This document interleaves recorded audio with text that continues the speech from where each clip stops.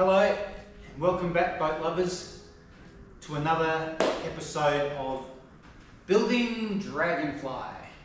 If you're new to the channel, I'm building a 53 foot flat bottom wooden riverboat, single handed. As you can see, I'm well into the project. So this week, Millie the Wonder Dog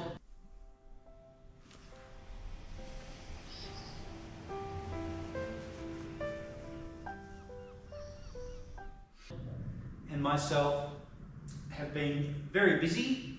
We have been continuing with the bow thruster, which is nearly finished, thank goodness. We've put in another bulkhead, we've levelled up the hull, and then all sorts of bits and pieces with all the usual fun of sanding, gluing, fiberglassing, and lots of mayhem and fun along the way. So stick around and let's see what we've been doing this week in the boat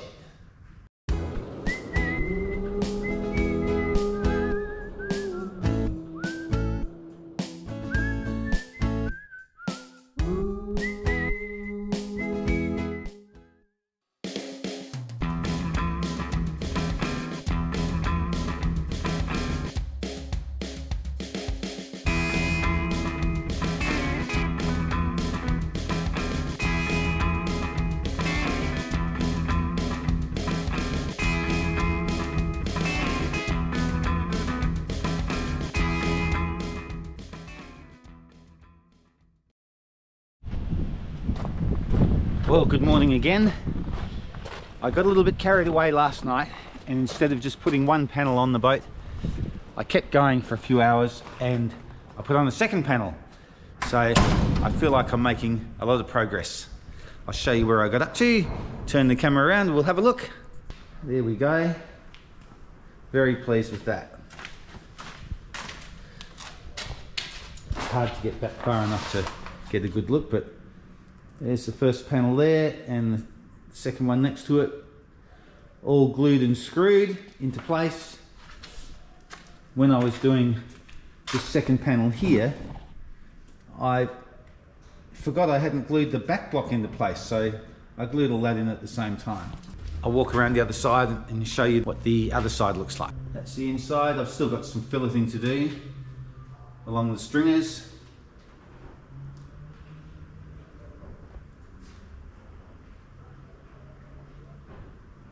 So that's my glue fillets and then I'll go over that again, sand all of those and go over the top of those with some filler compound to make nice neat fillets for painting.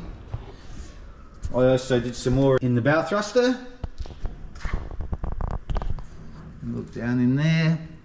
I added this rubbing strip here, all the other ones are complete. I added some fillets in the corners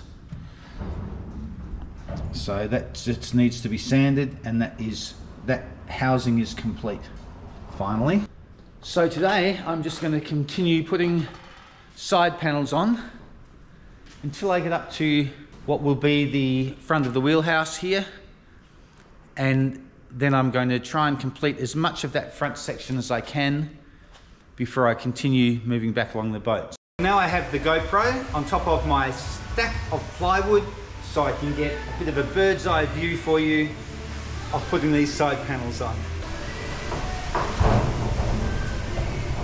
And it is blowing a gale today, so the shed is rattly and it's raining outside in the middle of summer. But uh, it's kind of cozy in here. I'm enjoying it.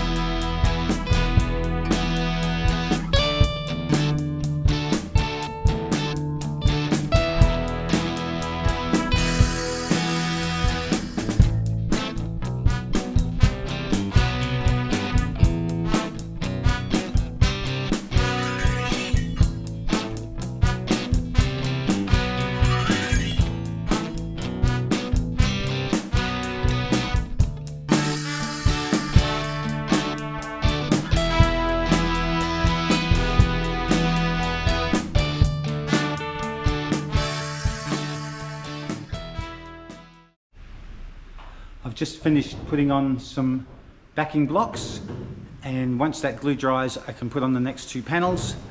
I'll give you a look at what I've done this morning. I'm coming along from the front of the boat. There's my backing blocks in place. There's that one. And there's that one. So they're notched in through the stringers all the way down, but they're not notched into the bottom piece because that gets glued into place as we go with the panels. Lots of progress today. Really can't do much until that glue dries. It's also raining and gloomy. It's about one o'clock in the afternoon. So I think I'm gonna finish for the day, go and do some editing, have some lunch, and put these panels on tomorrow. See you then.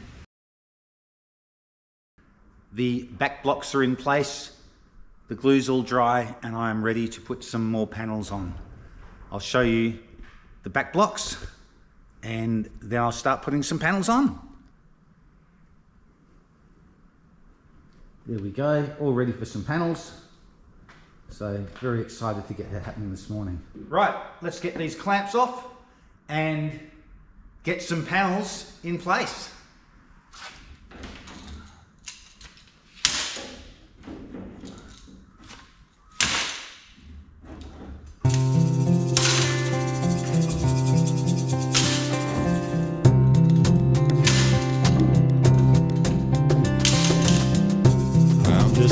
Here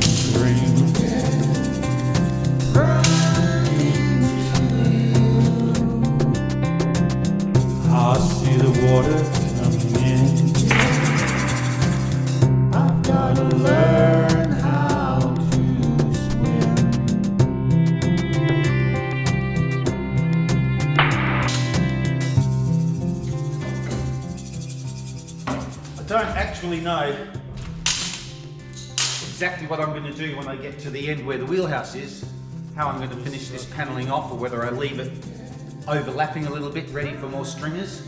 Well, I guess I'll just work that out when I get there. I'll have another look at the model and try and make a decision on exactly what I'm going to do. Because I'm sort of building the front third or first half of the boat in its entirety first, I get to that point and there's nothing really to join onto, so I guess I'll work it out when I get there.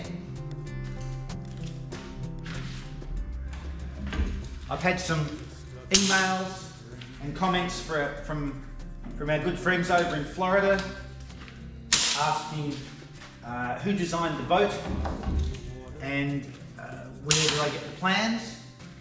Well, the simple answer to that is I designed the boat. It's completely my design and there are no plans apart from what's in my head. I built the scale model. As I built that, I kept in mind the actual construction of the boat. So I used the model as my plan. I've built boats before and so I'm familiar with spacing of stringers and structural points, etc. So really, yeah, the design somewhere in here and the plans as well. Right. It's all a bit of trial and error and no mathematical calculations, just all educated guesswork uh, going by similar boats that I've built and used in the past. So we won't really know how it performs, uh, how it functions until it's in the water. So I guess time will tell.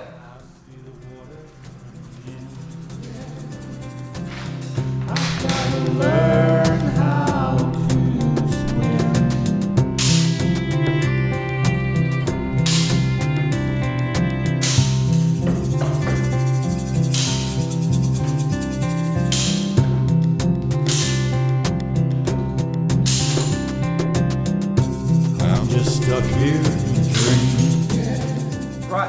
A bit of sanding over here.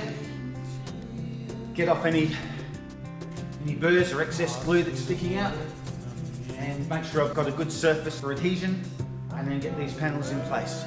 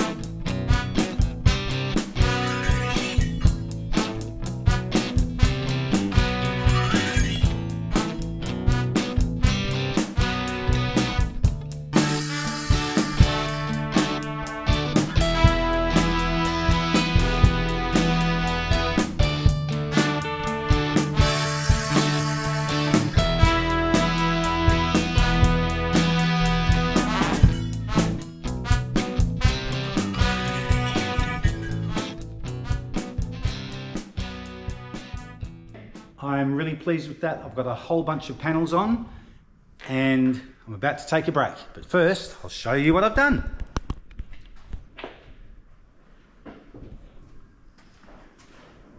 Starting to look like a boat. Woohoo. Well, I am super pleased with that. So I think it's time for a break and some lunch. Rightio folks, I have to do some serious shed tidying up. I've got tools and mess everywhere, so bear with me. Not terribly exciting, but something that needs to be done. I'm sure I'll be very pleased that it's done once I come back in tomorrow or late this afternoon to do some more work in a tidy shed.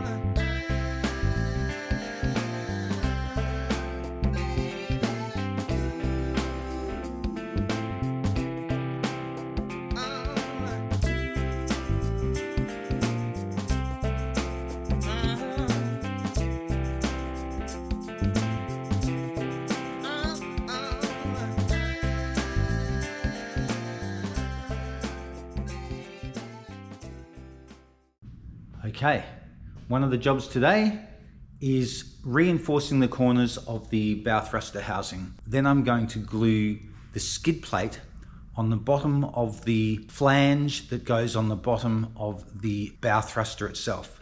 Because the bow thruster, as I've tried to point out, is a bit like a, a vertical drawer that pushes down through the bottom of the boat and then is pulled back up into place. And it has a flange on the bottom that locks into place when it's pulled up and I need to put a skid plate on the bottom of that so as it matches the profile of the rest of the skid plate or a very fine keel if you like running along the bottom of the boat. But here is the reinforcing to the corners that I've done of the bow thruster housing. We've just done that this morning, trimmed everything up so that's got a good fiberglass reinforcing down there. And then in this corner I've put a decent fillet in there on both sides and I'm about to glass that. Then continuing with the never-ending bow thruster, here is the skid plate that I'm talking about. So this is the flange that goes on the bottom of this. So it goes on the bottom and overlaps about an inch all the way around. And this is a hardwood skid plate that goes on the bottom of that. And then I'll have a piece of stainless, 316 stainless that runs along here. That will be six mil by 100 mil plate, which runs along the skid plates on the bottom of the boat.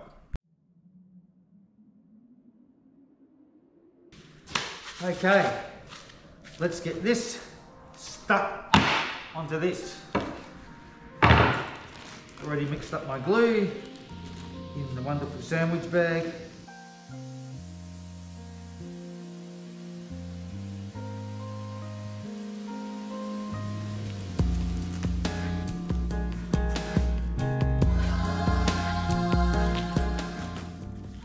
I think it'll be enough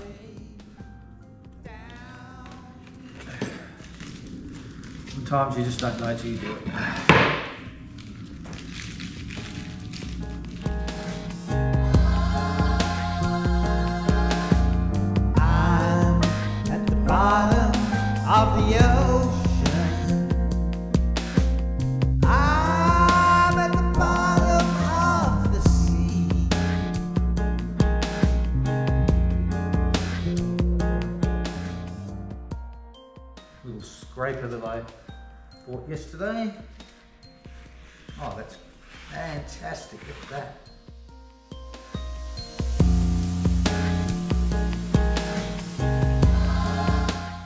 Does a great job. I'm gonna stay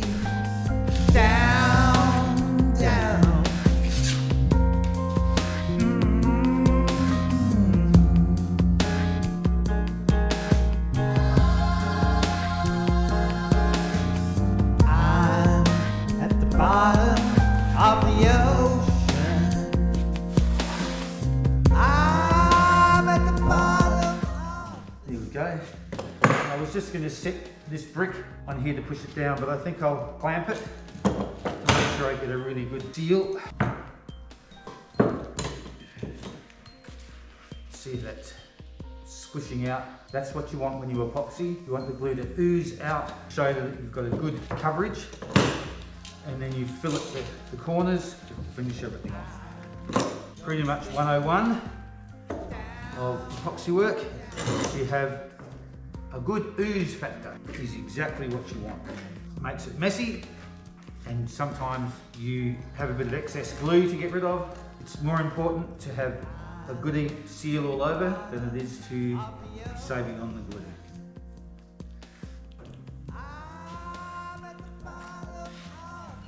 See that fillet runs along there. Do the same to the other side and then clean things up. So there is the base plate. Once that's dry, put my stainless steel plate on here and we can get it all glued onto the bottom of the bow thruster and painted. And that is progress.